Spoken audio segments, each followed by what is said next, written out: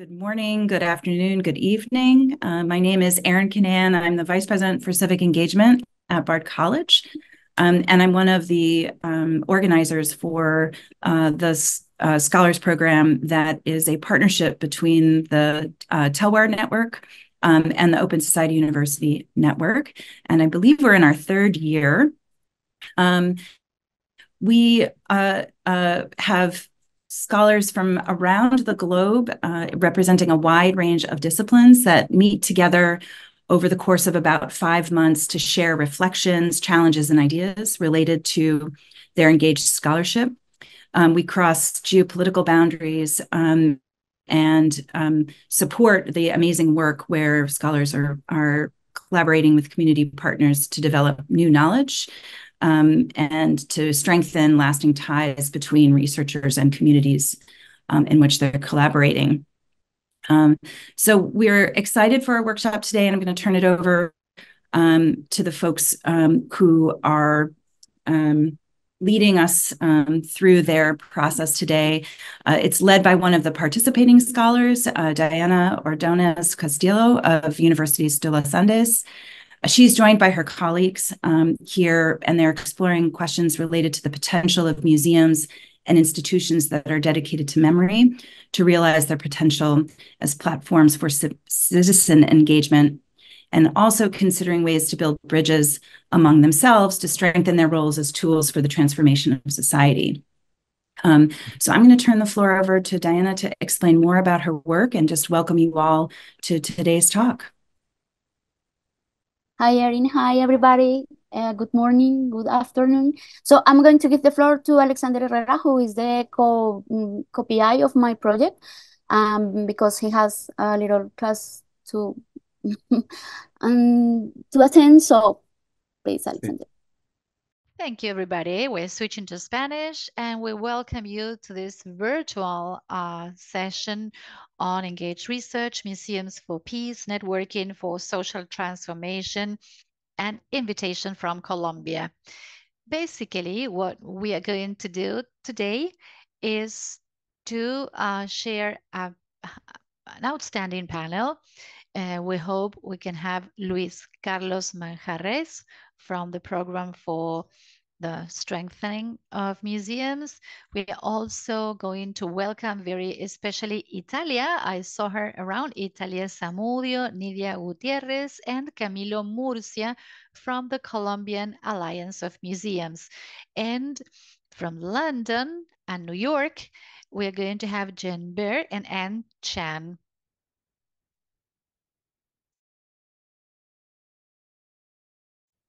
It's a pleasure for us to have this research project that started very small around three years ago, four years actually, with the support of the School of Arts and Humanities at the University of Los Andes and the Colombian German Center for Peace, CAPAZ. And to see how it's grown, I see we have 163 people in different parts of the world trying to see what we are doing. So we are really proud of that. So we'll start uh, focusing on the celebration of the death and memories at a small symposium. And since then, we've learned a lot because perhaps we dedicated several days amid the pandemic restrictions to break down with disciplinary barriers, to break down with the barriers that separate us, separate us. And it was very uh, a very right decision to invite those that worked for peace in Colombia mainly women, as you say here, that are very strong and that challenged us, uh, scholars, and forced us to do away with several ideas we had, for instance, around museology, museography, studies for development, studies for memory, peace, and starting creating different links, links around memory and also, of course, around uh, affections. Uh, special greeting to from our small project to the colleagues from the National Museum of Colombia, a great museum that uh, commissioned us with the coordination of a series of uh, talks at the National Museum last year around the exhibition El Mochuelo, also the movie library that provided an exhibition of films at the Montes de Maria, also the uh, Moving Museum of Memory that was they were one of the first partners of our project, together with the popular female organization and the uh, women from Putumayo. So greetings to all of them. They are in Barraca and Mocoa. I hope they are around. We also made a small exhibition of museums for peace, the social life of death, here in Bogota at the University of Board at the University of Bonn. If there's anybody from Germany here, that's the Uni Bonn for all of us. And that's when we started with our first uh, virtual session. I don't know, um, the the webinar uh, had already been coined in, in Spanish as a word. We held our first webinar on the Day for Peace here at the University of Los Andes. Today's dialogue with Anne and Jen, Luis Carlos, Italia, Nidia, Camilo will be led, of course, by Diana Ordóñez. And this is possible thanks to the support of the Open Society University Network and the College and the Bard College and the Colombian Alliance of Museums. To each and every one of you that lead or think of a museum initiative in Colombia, technological, archaeological museums, this space is particularly targeting you. Thank you so much for your attention. Diana, go ahead, please. Thank you, Alex. So as Alexander mentioned, this is already our fourth uh, stage of the project. And the invitation for you today is to reflect upon how we can strengthen the ties in a sector that has been fragmented and has been characterized by centralization in Colombia and in Bogota as the capital of the country.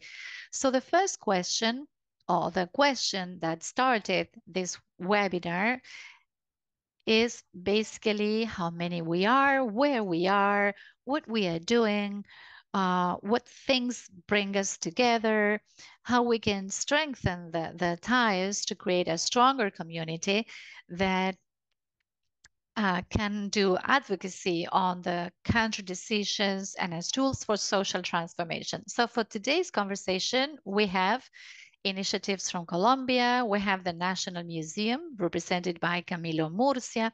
Also Ingrid, I saw her around. Luis Carlos Manjarres, that are also part of the program for strengthening museums. They are the leaders of the sector in the country, and also the Colombian Alliance of Museums with Italia Samudio. I'm not sure Nidia is here today.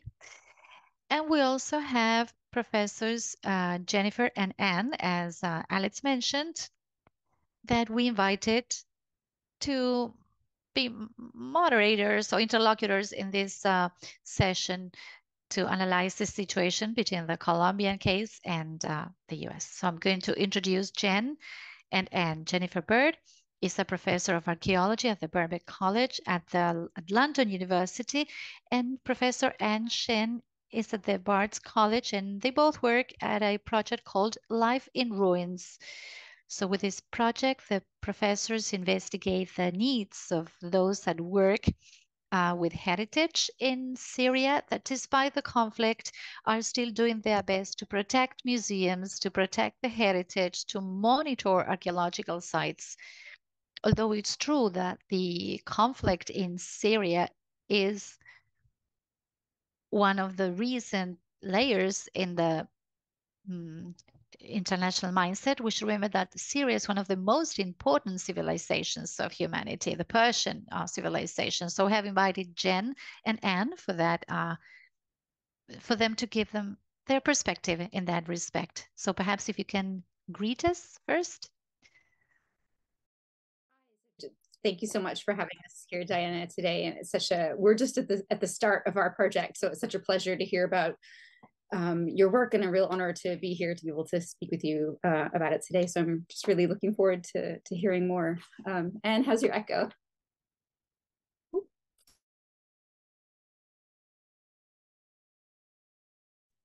I'm going to try it this way. Um, so you can see that I have my class along for the ride this morning uh, from Annandale, New York, and thank you so much for uh, the invitation to to join and to to learn from you. Uh, I think that there's a lot of things that that Jen and I are thinking about that uh, are particular to the Syrian case, but uh, that um, uh, can be in conversation with with colleagues elsewhere, and so we're we're excited to learn from your experience as well. Thank you so much. And I'm not sure whether the rest is here. I would like to introduce also Italia. Italia, perhaps, if you can send us, say hello, or Camilo. Hello, good morning. Thank you for the invitation. We are so happy from the Colombian Alliance for Museums to be here with you and to resonate the political voice of museums here in Colombia. That's a struggle that we've been leading for some years now. And of course, also from the territories, the Itinerating Museum for Memory and the Identity of the Regions. Thank you. Juan Camilo, are you there? Yes, good morning. Thank you for the invitation. Of course, for us, this has been a very long process of reflection on museums for memory and their representation, two important topics in Colombia.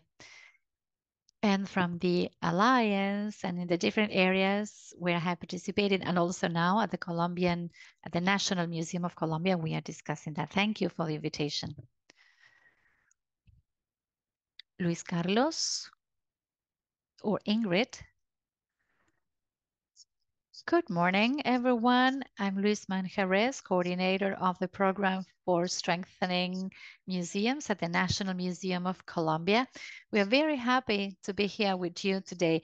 And uh, we're going to share some topics that we've been discovering since we um, started our management of the strengthening program. In Colombia, there are 437 museums throughout the country, and the peripheries of the country is quite neglected. There are not many museums there. And of these 457 museums, we still have 133 museums we have not contacted yet. That reveals the difficulty of the territory in Colombia. And it reveals uh, the difficulties with connectivity and the diversity of the museum universe in this country. And I think the project that we've been working on at Museums for Peace will allow us to make a diagnosis, to contact them, and to recognize the work that many people do at the territories of difficult access. So thank you all for this space and for the project itself and for the contributions and comments you may make today. Thank you, Diana, for the invitation.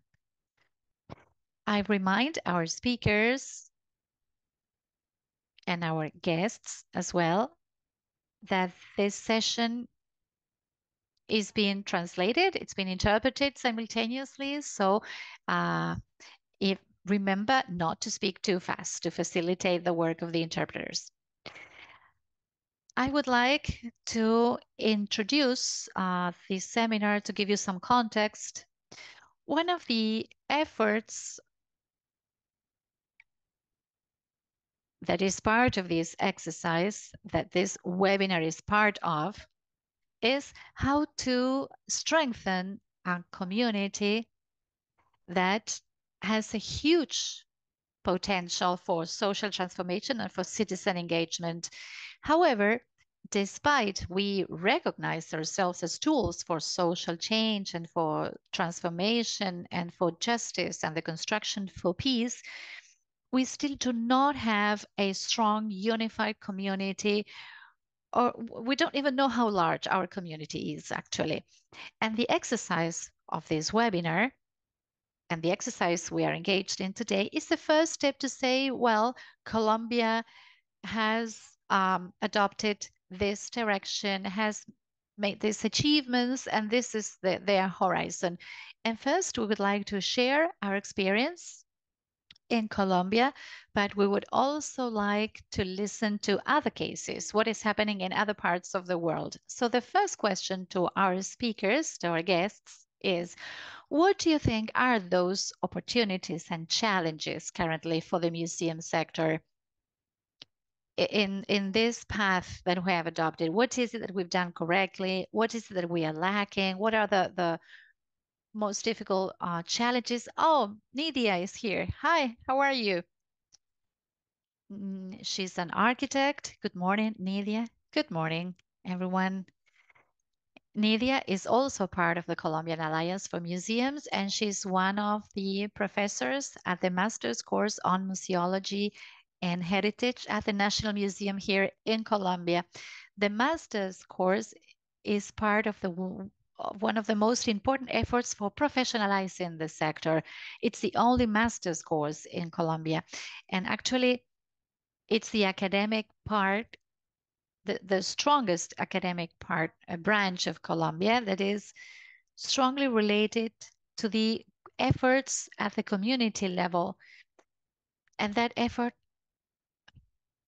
has been part of the strength, not only of the master's course, but also of the growth of the sector in Colombia. So I would like to pass the floor to Italia to answer the question about our current challenges and opportunities. Thank you. We have lots of challenges ahead, but I think that thanks to a joint effort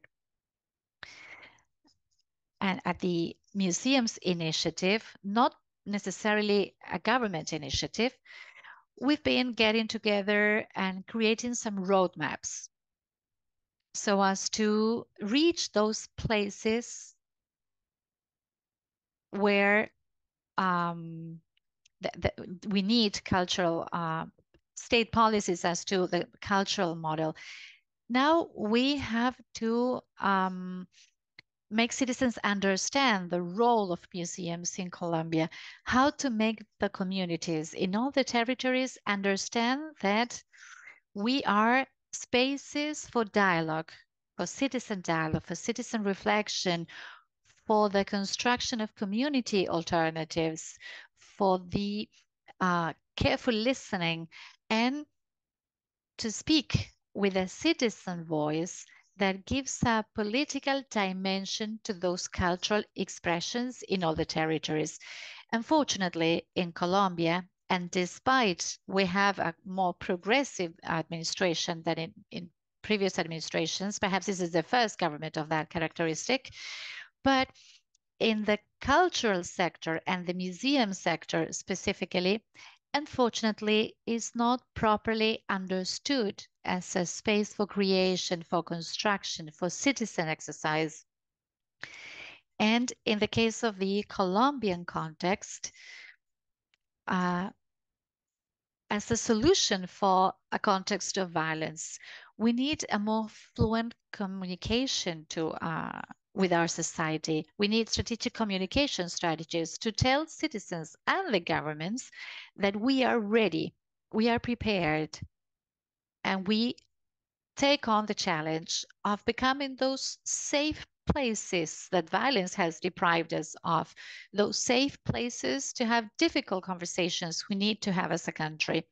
And that challenge can be taken on jointly all together if we combine efforts. In Colombia, there are many initiatives, many small initiatives or some large initiatives, such as the initiative of the National Museum, that have understood this task. So we need to get together based on clear roadmaps to have a direct dialogue with the governments, with the establishment, but also that are able to sit and listen to the citizens with a deep respect, with a careful listening, and with the ability to have a horizontal dialogue, a fertile and creative dialogue, so that we can turn what is our Achilles heel, that is an approach to museums as an exhibition place, into citizen practices and participative um, strategies like the community curatorships with a political and transformational characteristic. We know museums have that potential. We have the capabilities, we have the will. We just need to speak more clearly, to listen to the citizens, and also to resonate all these conversations that as a country we need to have and we need to strengthen. Thank you, Italia. Now I would like to listen to Luis Carlos.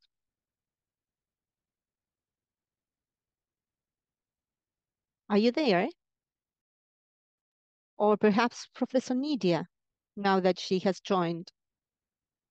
It's okay. I'm very pleased to be here with you. Let me begin by ratifying what Ita has just said. I would like to emphasize that we made efforts, though we haven't yet had uh, achievements, but we have made some progress to have a museum policy supported by a law on museums. That is um, the result of the effort invested by the Alliance of Museums uh, as a whole. But uh, um, yet we cannot say that we have succeeded. We need to pass a law on museums, a law that is consistent with all the interests mentioned by Italia. That is what I believe that has happened so far. Now, the biggest challenge, in my opinion, is uh, something that confuses me. Why? If Colombia has uh, extraordinarily achieved uh, special justice for peace uh, with a National Memorial Center, um, where the memorial museum should have been opened, a museum that has a central role. If Colombia has succeeded in establishing the structure, but that is now paralyzed because it is just standing there,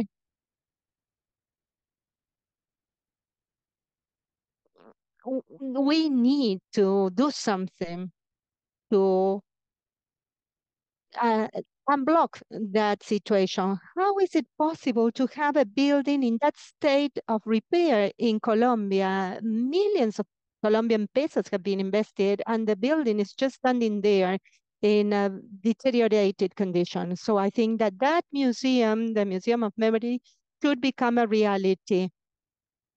Now it seems that there are seven directors that were appointed over the course of two years. Uh, I think that they are going through a very deep institutional crisis. So now we are starting to see some improvements. I'm glad to hear that a new person has been appointed. I can't remember the name, but that is uh, a big hole, a big gap in the peacemaking uh, uh, process where these kind of institutions play a, a, fundamental role. Let me give some context to the audience who are not from Colombia. Colombia. Colombia has been in an internal armed conflict for eight decades almost, and in 2016, during the Santos administration, an an agreement was established with the oldest guerrilla movement in Colombia. And thanks to that agreement, a big process started. There was some initial memory building process, so this became more consolidated It was a process telling about the resistance of the citizens, uh, the violent situations, the organization of communities to resist the violence and to um, deal with inequalities and injustices. So Professor Nidia is trying to say that part of that accord, part of that agreement led to the consolidation of a transition system. A system that consists of three big pillars. The the special judiciary system for peace, that is a transitional system, uh, a unit devoted to uh, the search of disappeared people, and then the Commission on Truth. The Commission on Truth and the transitional judiciary system are the most visible components, but the Memorial Center and other memory-related initiatives are associated also to that system. The museum Nidia is referring to is a direct result of that agreement. Um, right now, it is just a building that was erected there. It has some uh, structural faults. Um, it has been abandoned. It, it doesn't serve a museological purpose. It is just standing there. So despite the fact that Colombia has uh, made a long way on memory policies and making sure that memory is the centerpiece of the peace building process, we have some gaps like this museum, there is distrust in the museum, and even uh, a lack of civic engagement with the museum so that the museum can serve its true purpose. So I would like to give the floor to Camilo, who works in this kind of institution. Hello. Right now, I believe there is an interesting but quiet or silent record of the need to have a conversation between community and citizens initiatives and these highly institutionalized voices uh, that seem to be anchored in the government and residing in Bogota. So, as Diana said, um, there are some parties working in the Commission on Truth, and they did quite an interesting piece of work. Uh, in their own way, they were able to present uh, a full exercise on history in a short period of time, but it was a critical exercise, quite interesting, and this has turned into a product, into an output. Um, the output has been some giant books. Um, there was a commitment to uh, bring all this information to the Museum of Memory in the center of the capital city in Bogota and some digital materials. The commission finished its work a year and a half ago, but we still don't have that materialized because and they mm, became distant from the work on memory and the museum. And then there are gaps, there are some uh, vacuum space, uh, empty spaces that nobody is taking care of right now in Bogota. So I think that that is one of the most important challenges ahead of us. So we have a special justice system for peace. We have the Museum of Memory, where we will have the uh, perpetrators, uh, the that should be reflected there. There should be a plaque or something representing that part of our history, but the museum has not yet succeeded in uh, gaining meaning or materializing that. And it is it is the justice system that is building the museum and not the museum that is building the narrative. And I think that amidst all the decisions that have already been made, we should have a convergence of the community narrative um, in Bogota, also moving, expanding towards the territories, and the need to have a national narrative built in Bogota. Uh, but right now, that is silent, that is quiet. And it is the justice uh, uh, system that is actually building an actual narrative of the armed conflict for everyone. Thank you, Camilo. I think that is uh, an amazing uh, point to bring up here. Now you are raising the fact that we see some uh, different spaces in the spectrum of that conversation. At a certain point, we have um, discussions that were very important. We have the transitional justice system in Colombia um, led by the victims. The fact that the victims are at the center of the agreement is a result of all that mobilization effort, all the paths that they um, traveled along those 80 years of the conflict. But today we see an increasingly officialized discourse.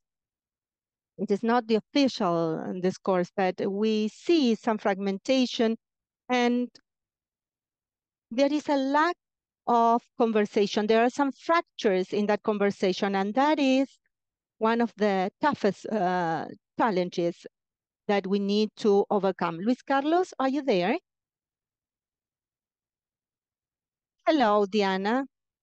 Good morning to you all.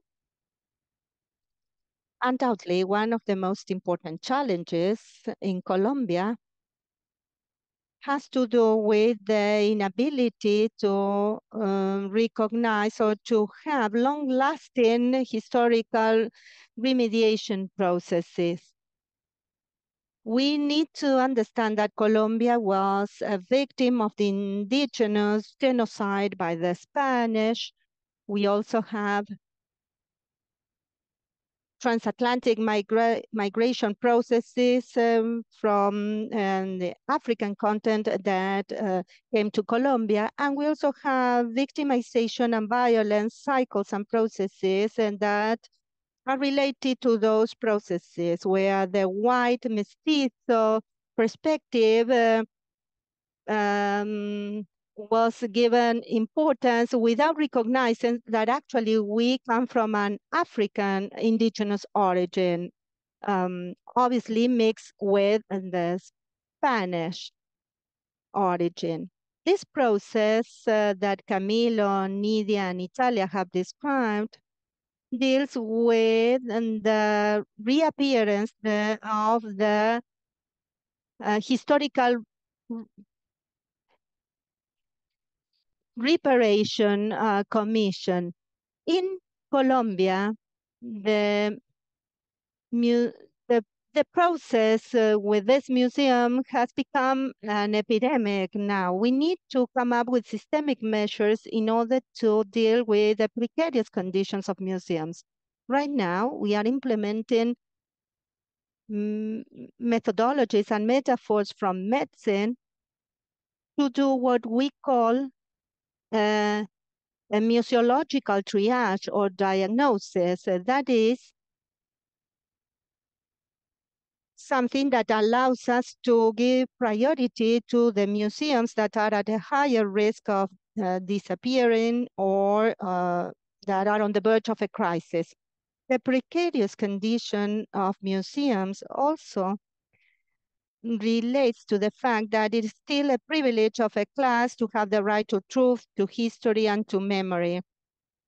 The right to aesthetic enjoyment, or even the right to self-representation and to self-expression or to your own identity. Those rights are still um, given to a specific class. Uh, in Colombia, people have the right to access a library or to learn. That is why we do have laws uh, for our archives and our libraries. But museums oftentimes are just spaces where um, power and exclusion dynamics are legitimized. And these are spaces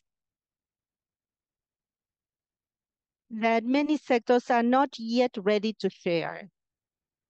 That is why we need to go through an important pedagogical process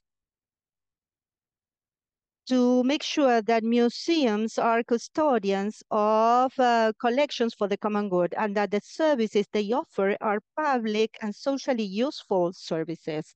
Therefore, we need to democratize the museological exercise. In that challenge of transforming the mindsets of decision makers and the elite groups, well, that challenge is a huge challenge that is has been counter, countered uh, thanks to the agency of communities that have tried to engage in museological efforts in their own areas. So let me finish with this uh, thought. In Colombia, only 30% of museums are public. That means that 60% uh, of the civil society museums are not private museums. They belong to organizations and non-for-profit organizations. And they clearly understand that they have a social mission to fulfill. However, there are restrictions for investing publicly in these 60 museums. So the government has not historically uh, given sufficient investments to museums because there is no policy on memory, on history, on museums. And at the same time, there is no clear path to strengthen civil society organizations that are now covering that gap where the state is not present. So I think that is one of the biggest challenges that the law on museums should uh, uh, feel that this law aims at establishing the framework, the legal framework for museums in Colombia. And the general statutes uh, create the necessary organizations to uh, apply, to enforce that legal framework, and then to create a mixed fund for museological development in order to have a clearer funding for museum-related activities. Thank you, Luis. Let me go back to the conversations that we have been having. Uh, we all have an understanding uh, of a museum, not just as a building. It goes beyond that idea of a collection and an exhibition. We see museums as public services, as tools for society and tools for social transformation. And that is more connected to our way of understanding long-lasting memory and heritage. Can you all hear me? Because I got a message here. So that way of uh, understanding this connection between memory, heritage, and museum is uh, much broader and it allows us to um, contrast this extractivist uh, hegemonic perspective of museums. And that is a big challenge for us. Although communities have taken ownership of the museums, how can we make sure that museums are seen as tools at the service of society? So now that we are connecting memory, heritage, and museums, I would like to ask Jen and Anne what are the similarities that you observe in this kind of research and the ones that you have done in Syria, for instance? Jen or Anne? So I think we're both being polite. I, am just going to start. Um, thank you so much, Diana. And I'm sorry, my connection was a bit um, ropey at times. So I'm sorry if I, I missed anything. I was trying to follow in the um, AI. I think coming from the perspective of working in Syria, um, from the kind of safe distance of, of London, um, we're not post conflict. Um, and it's hard to imagine post conflict. So um, we're in a for our our work uh, we're, we're concerned with a lot of the same issues about community memories and the challenges of um, community engagement. Um, sorry zoom wants me to confirm my language. Uh, i'm going to try to do that. Um, in a in a context where we are working um, not with the regime at all that is in power there, so not in any way with official museums or national museums. Um, so one of the challenges, and I now see that it's a shared challenge that you have to, is work is that our work is happening through civil society and through um, NGOs, um, including one called Heritage for Peace, um, which I think has a lot of objectives in common uh, with the project that you're doing, many projects that you're doing. And I think one of the, the challenges that we share is trying to enable those local voices and those spaces for dialogue um, without the platform of official structures like museums, right? So we have this, um, and in a context where many of those people are already displaced, um, but nonetheless have have very strong links to um, the communities that we're working with. So I think so. One of the things, and I and I won't talk about digital things because that's definitely and we'll have better things to say. But I think one of the things that we're trying to do is thinking about how it might be possible to bring together those voices despite being dispersed literally and whether we can create platforms digitally to enable um, those those kind of unified communities. Um, I will say, I was, Diana, I was so jealous at the beginning, and you were you were talking about um, the way that you don't have a unified community of these museums. But I think, from from my perspective, it seems very unified, and you have such a wonderful network. Um, so I, I yeah, um, I think uh, I'm just really inspired, especially about um, Italia's comments about creating spaces for listening and for dialogue. I think there's um there's a lot to think with there. Um, but but sorry, Anne. Hi, I'm gonna uh, hope that I don't have feedback this time. It seems like seems like it's working okay. Um, just uh, echoing a lot of the things that that Jen so uh, nicely uh, laid out there um, uh, to build on the ideas about um, uh, digital possibilities, one of the things that our project is thinking about is uh, since we are working remotely and we are working with um, you know a remote dispersed community, maybe it opens up an opportunity to explore how uh, digital platforms, uh, new forms of technology allow us to um, collaboratively curate uh, things like photographs or uh, archival information associated with the the uh, the archaeological site that we're working on. Um, sorry, I'm also getting a, a Zoom a prompt here. Just a moment. All right.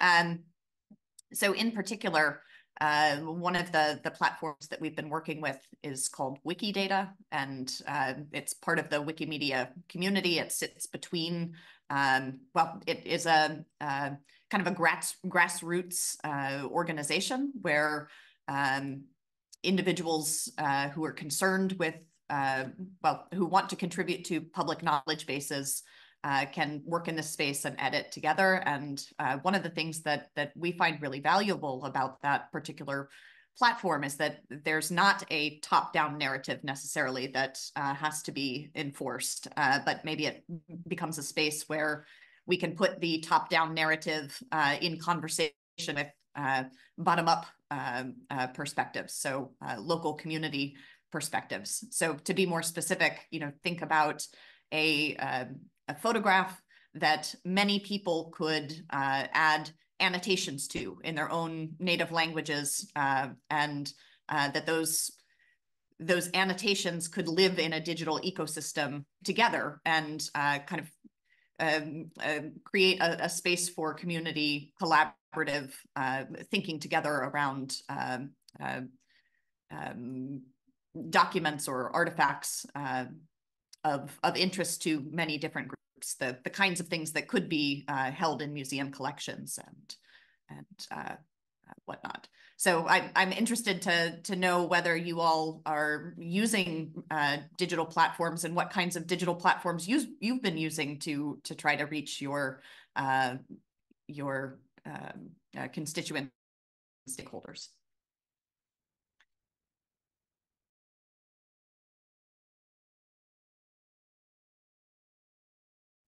Perhaps Camilo, Luis, Nidia, do you have any comment?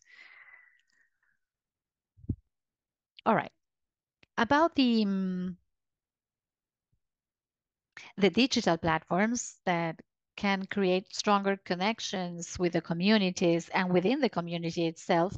I'm very happy, uh, Jen, what you said, that we look like a strong community. That I really liked what you said, because actually we've made efforts to to achieve that, and that's the the the the horizon that we have defined for us. Perhaps I didn't mention the context of uh, who we are. Huh? The Colombian Alliance for Museums is, as the name indicates, an alliance of joint efforts, efforts that come from academia, from the communities, even uh, government initiatives of individuals that have a large museum, a small museums, uh, a memory um, institute, all kinds. So that's the umbrella that protects us. And it's the same analogy for the law. It, a law that acts as an umbrella that can uh, gives us, that can give us shade and favors our progress towards that horizon. So the alliance becomes precisely a collaborative effort to strengthen that community. And precisely, this webinar has been the, the perfect moment because the Alliance, together with the uh, Museum Strengthening uh, Project led by Juan Carlos and the National Museum and the Program of Museums for Peace at the University of Los Andes, are launching a repository to answer a very, very simple questions, who we are, where we are, and how we can be stronger. And that's one of the most difficult questions in the sector. In general, in the conversations, among those of us who work with museums, there's a range between 100, 300, 600 uh, museum initiatives. And that huge gap we have of knowing who we are actually and who recognize themselves and how we recognize ourselves as a strengthened community, that's an exercise we should uh, conduct. So this webinar has been part of the conversation that leads us to these reflections about museums as tools for social transformation, but it's also an invitation to join this community. And it's a community that has the, their open arms and is not eh, trying the museum to have just four walls, a collection, a catalog, but that self-recognizes itself and that's part of the process of knowing who we are. I see Italia that is not in. I, I would like to know what she thinks about it. Yeah, I was listening very carefully. And of course, I fully agree with uh, everything that was mentioned. Perhaps I would just like to mention two elements. One, as part of this system of truth, justice, reparation, and non-repetition, that that is the institutional framework that comes out of the result of the peace negotiations between the government and the FARC. These three pillars that Diana mentioned are not de facto or in paper. They are not connecting memory or the role of the citizen's voice despite the centrality of the victims in the agreements. Such um, that is such a serious, uh, excuse me if my dog is here, that's such a critical aspect that at the National Center for Historical Memory, that is the entity that leads the, the, the creation of the Museum for the Memory, in a post-conflict area, that has become like the treasure and all the agendas, all the resources are there, and but there's no result that shows that effective participation of the voices of memory of the conflict in our country. That means that when the territorial initiatives, as Camilo mentioned, start to push for participating actively in that public space, in that public uh, area to share their stories, their voice is not limited to a testimonial voice. That's what transitional justice is for. But they do it rather from a political voice. But that political voice is not heard. So it's assumed that there are 9 million victims, and from the government, and those that thought of the system think that those voices are voices that only speak about facts of the conflict, but not what happened in the territories before, how the war started in those territories, and how the communities resisted that violence, and what alternatives they have built to overcome those violences.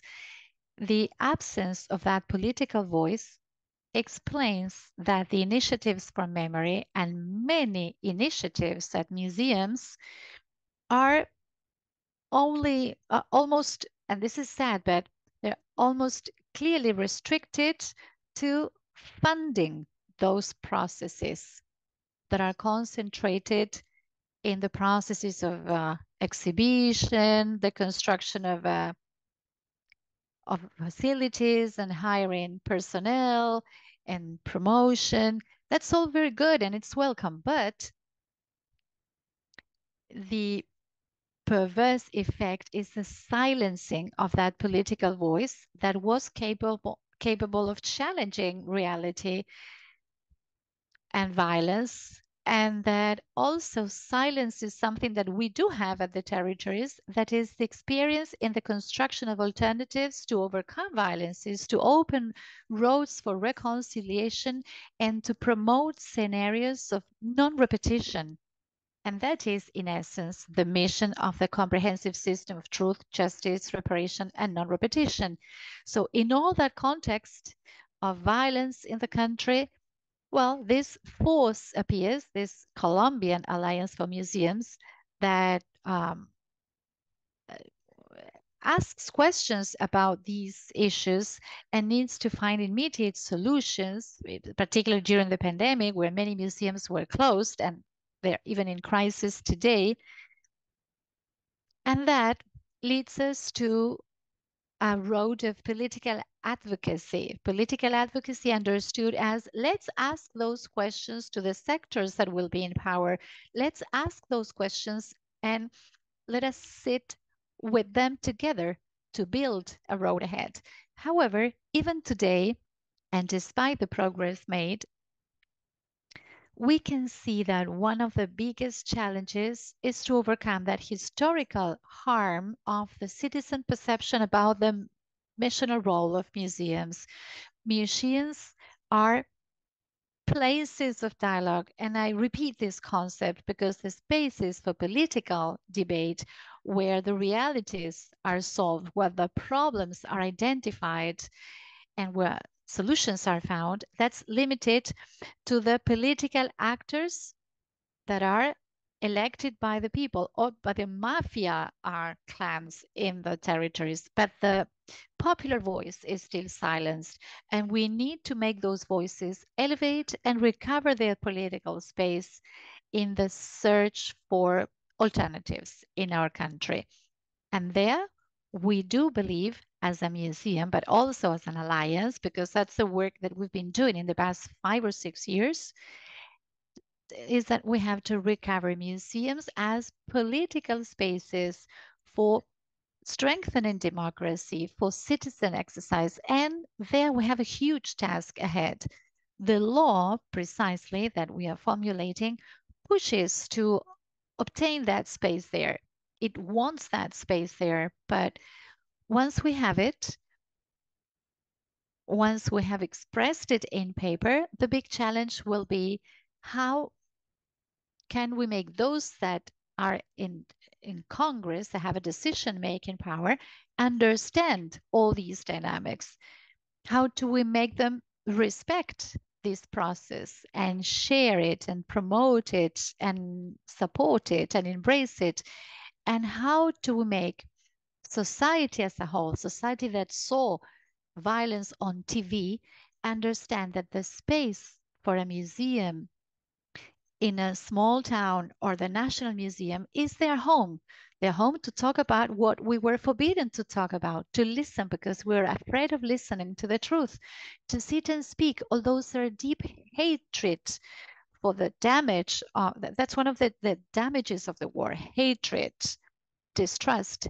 But we need to do it. And this will not come out from the establishment or from the elites of the mafia power or the political power that are elected by the people. This has to come out of the citizens. And there, I feel that museums teach uh, Professor Nidia, I think we have this task ahead. And there's no museum for memory because it's a loot.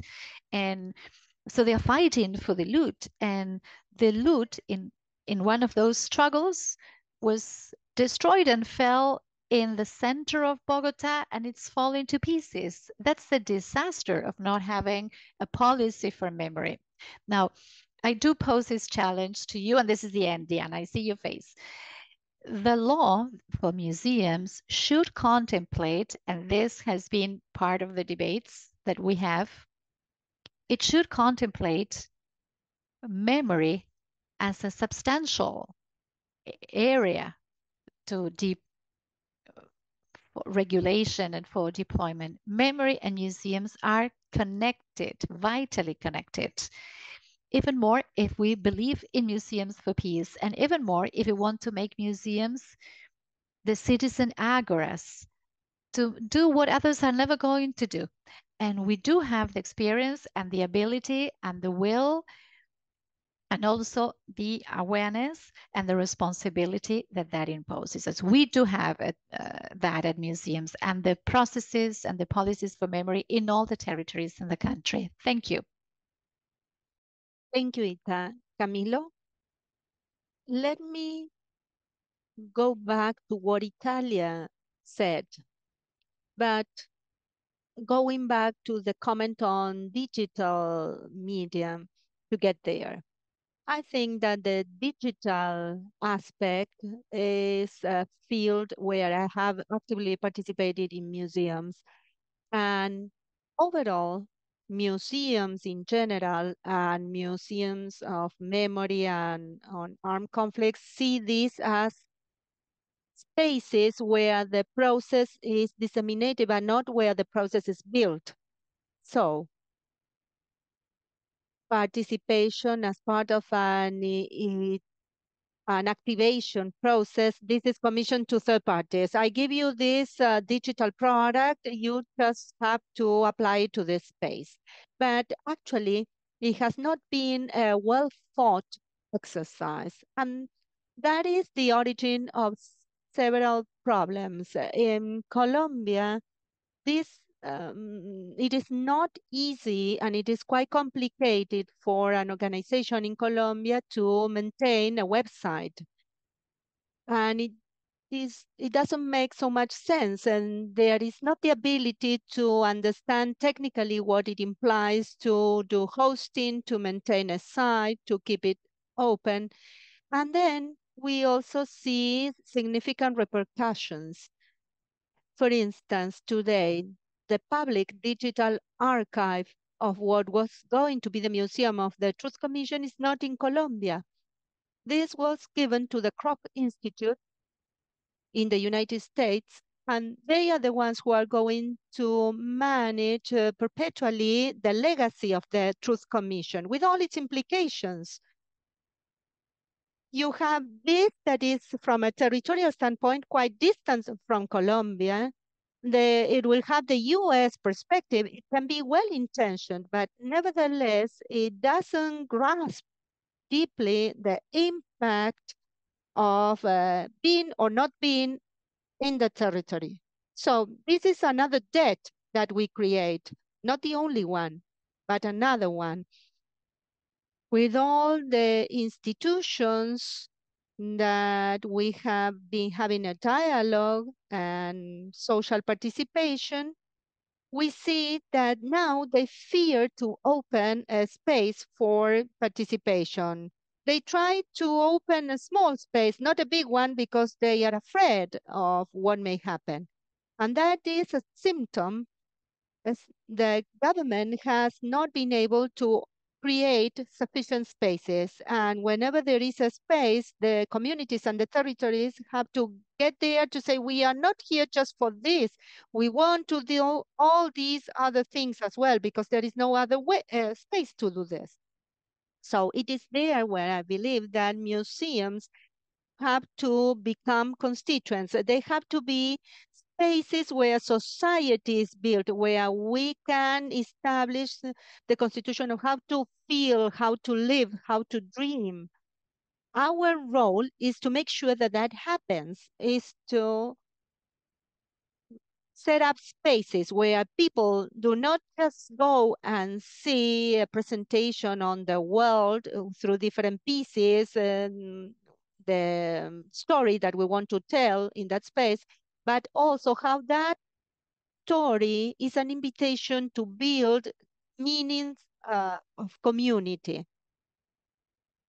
This is what we have been doing in the Alliance and also in the National Museum. We are working to strengthen museums in this way, but I think that that is an important challenge. How can we transform these giant institutions they are always in Bogota.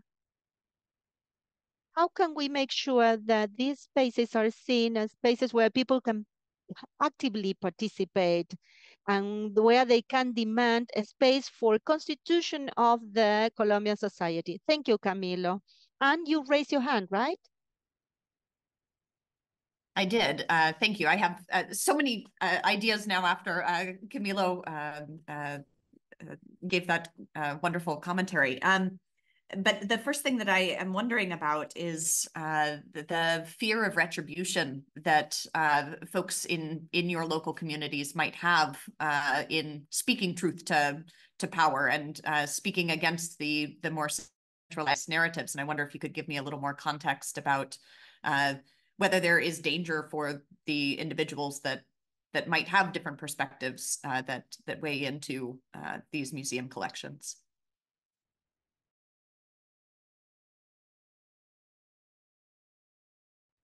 Who would like to address that question?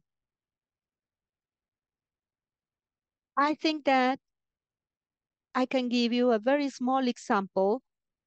Perhaps it will not answer your question entirely, but in the process of putting together the law, we have been talking with different uh, points of reference in the museological field. And what happened to us is that um, we said, well, the law is going to establish rules for returning the collections of museums to indigenous groups. Is, is it going to do that? That is a difficult question to answer. As a nation, we have fallen victim of the looting of collections that uh, collections that were taken to other countries and we have not been able to answer that question. So the question is now now as an archaeology um, museum as a national museum as the museum of a municipality where you have seen that behavior, what are you going to do? Are you going to bring back those pieces? Are you going to put that into the law? Or are you going to do just the opposite? So this is what we see underlying this participation exercise. These are just examples. These are quite complicated questions. And when you see an official in power, um, this officials can run into trouble with these questions. So this is what has been happening. They try to look the other way or to close participation spaces. I have no answer how we can change that, but the political mm, position that we should take is that we cannot turn a blind eye to that. We need to find answers to those questions uh, posed by citizens and have an institutionalistic registry or a territorial registry and work on a daily basis uh, to search for those answers because we don't find those answers in a manual.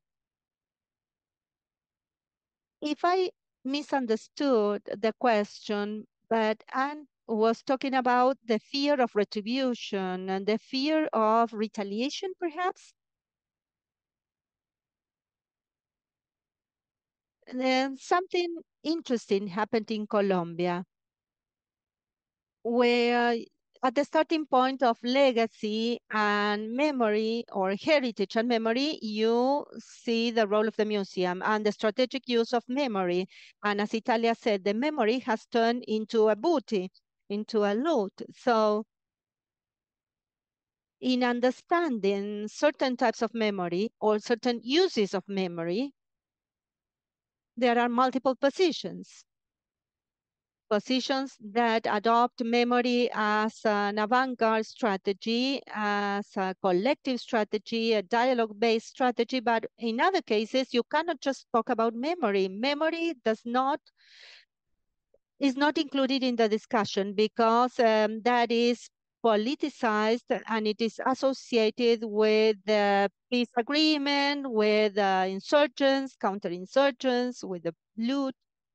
So yes, there is fear of retribution and there are concrete cases of retribution, retaliation. But that doesn't mean that um, that is a unified position. There is a heterogeneous situation, and it is a matter of defining the limits for memory, heritage, and the different uses of those elements. Uh, where does this take us to? How, what are the tensions created uh, here? How can we use this at, uh, for our own uh, purpose. And let me wrap up a little bit because I'm we are just left with 15 minutes. Oh, Luis is asking for the floor. Hello, Diana. Let me take this opportunity after the previous speakers who talked about digital materials and retaliation to make a statement and try to rebuild this. I think that the methodological seal of uh, museology in Colombia is characterized by the learning of the agency by the survivors of the armed conflict in Colombia. The Colombian museologists make a big effort in every sphere, in the digital sphere, in curatorship, in uh, assembling the collections, by learning or uh, trying to answer to that joint responsibility, following the example of the victims through agency. Every museologist in Colombia uh, is a protector of the heritage, of the work, of the territory. And there is also a dynamics of care that takes place among ourselves. I'm not surprised, but I'm pleased uh, to hear that uh, we are like a retony.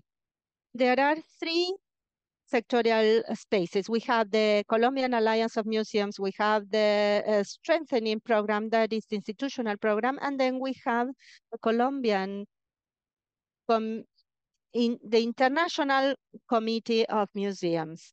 And it is easy to get together join forces uh, to engage in collective, in joint action, like when we were at the best uh, point in the crisis where with the where there were a lot of killings, a lot of violence in the framework of a national strike.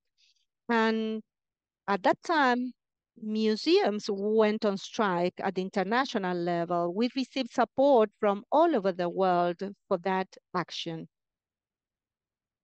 Now, by listening to you, I have the feeling that we can also do the same to promote a strike uh, in the face of the genocide in Palestine. We received support from Mexico, from Europe. Several museums uh, joined that strike. And I think that it will be difficult to get that voice from Europe.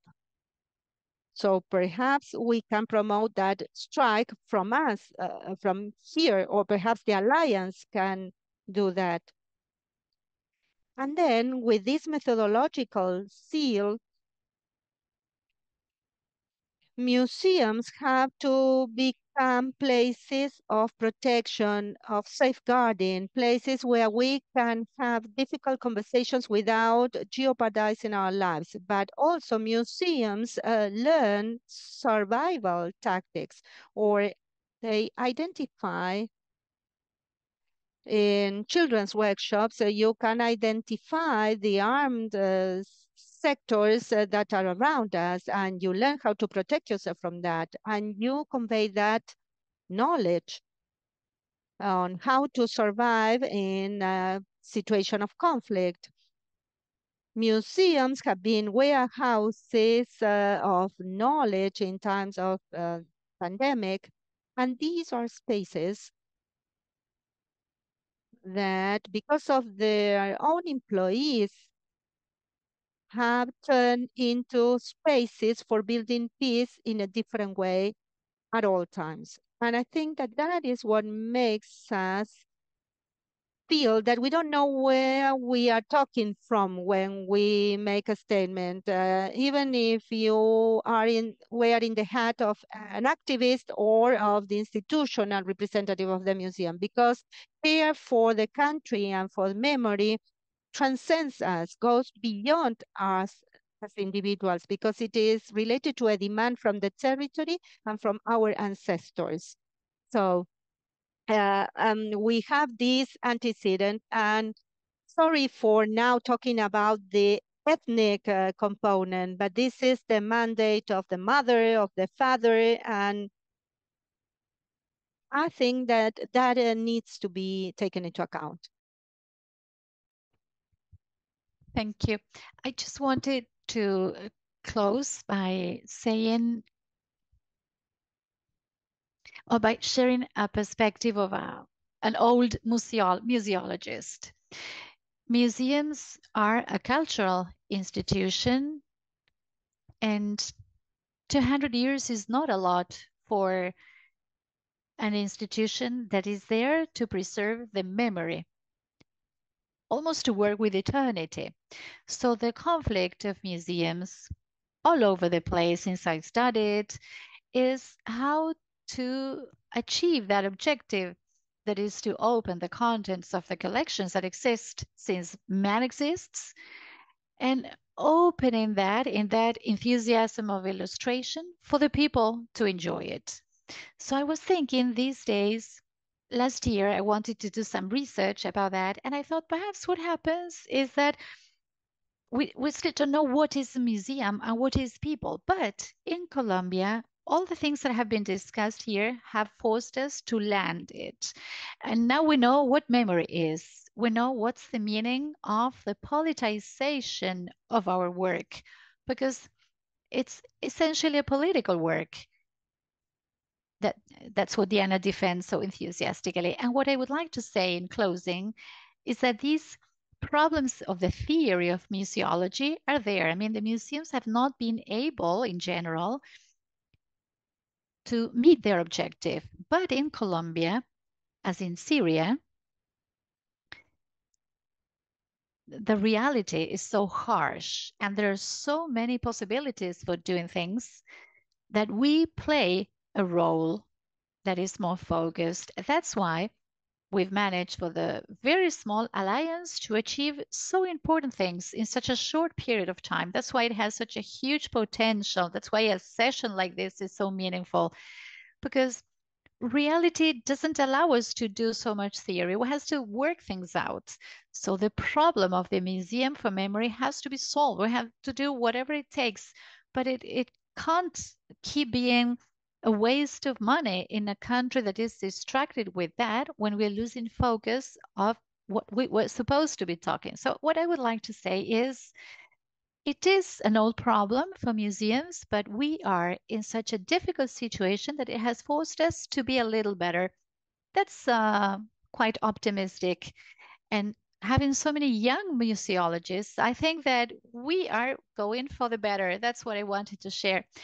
I'm happy we ended on a happy note because at the beginning I I, I thought this is going to be so sad. So we just have eight minutes left for this seminar. So I would like to know if anybody from the public would like to share anything. Perhaps they can write in the chat. Oh, Soraya has raised her hand. Where are you? How much enthusiasm, love, passion, knowledge of reality, knowing that we have to transform reality, as Nidia said, and everybody here. I really liked what she said. The old things about the illustration and 200 things, okay, let's them let them do that. But memory, the memory is alive. And behind the armed conflicts and this craziness of injustice and the, the fights in the territories, well, these small actions and these small victories we have in this Colombian Alliance for Museums to start building a new narrative. Museums on the floor, not in a big statue with the big heroes and and not having other countries talk about your memory. I was very touched at what Camilo Murcia uh, shared today so clearly that our archives for memory are outside the country, even if there's goodwill behind that, that belongs to us. And now, amid the conflict, there's still lots of silence imposed many voluntary silence as well. So we should be very bold and creative to start building those strategies. And I think one essential aspect is pedagogy, that citizen pedagogy, peda pedagogy for peace, for taking ownership of the rights of communities, but also for that dialogue between public officials, museum workers and us, civil society, organized civil society, can think that a public policy cannot be under the power of a presidential decree, but there has to be a law.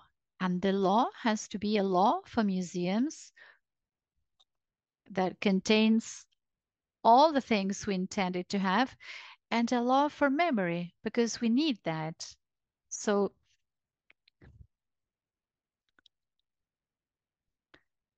each fragment of this, each action that is carried out is legitimate or legal. So legality gives strength to what we do, as we have been insisting.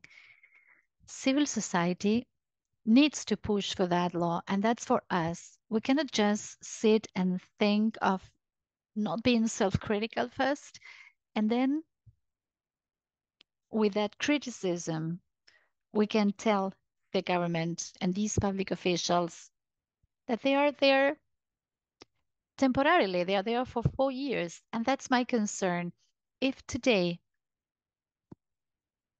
we have Camilo, we have Luis Manjarres in the Colombian government with the current administration. When this administration leaves and a new administration comes, if we have no law, then our friends will be gone. So that's where I would like to focus. That chair of museology at the National University, that is our public university, because we have a right to education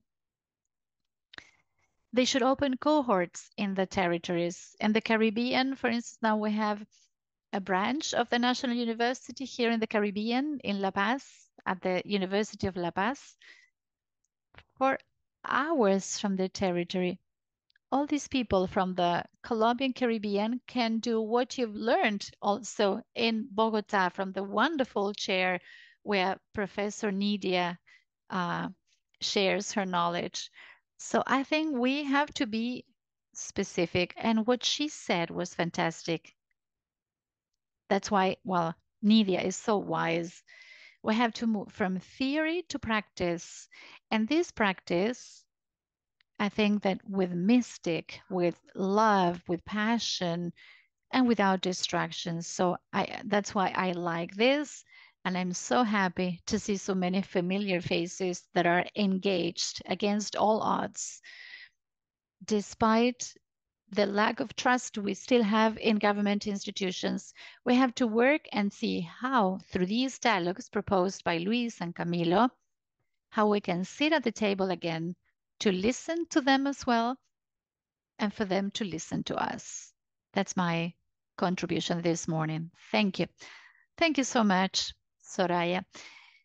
Again, I'm happy that this conversation has ended with an optimistic and happy note and rather solid. I think it's a word that works to describe what we need, what we want, the horizon we want. I thank Camilo, Luis, Nidia, Italia, and Jen for your effort, for joining us, and all our guests for staying with us for an hour and a half.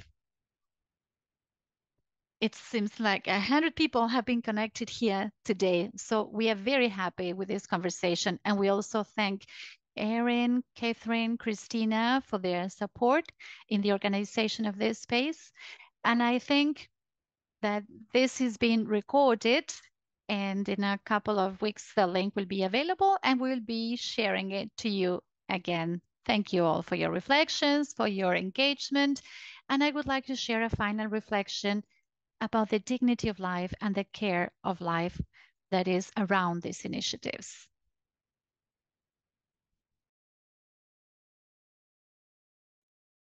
I'm not sure what the next step should be, Erin.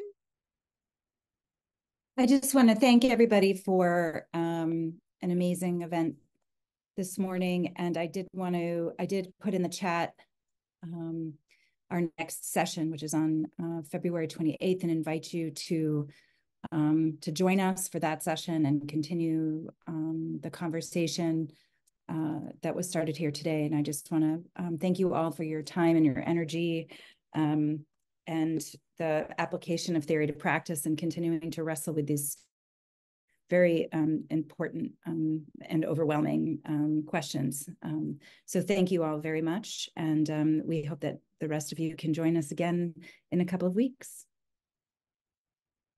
Thank you. Thank you all. enjoy the rest of your morning, afternoon, or evening. Thank you all.